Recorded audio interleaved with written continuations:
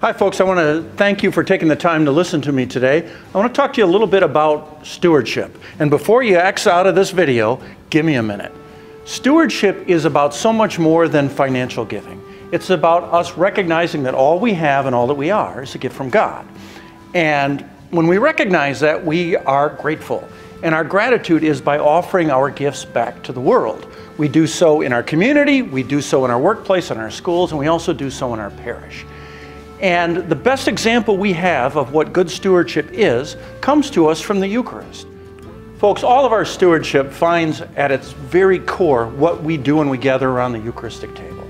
We bring our gifts and our talents, our troubles and our concerns, we bring them to the altar and we join our lives together with Christ.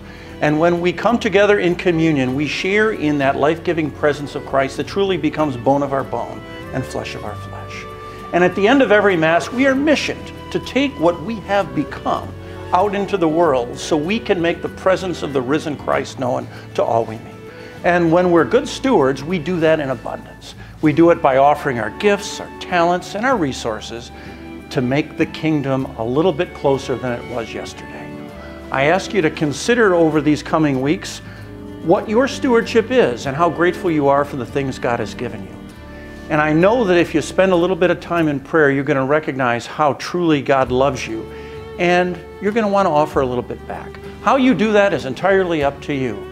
From my standpoint, I'd love you to offer your gifts and talents in our parish, but I know many of you offer them in the community, and that is good for God as well.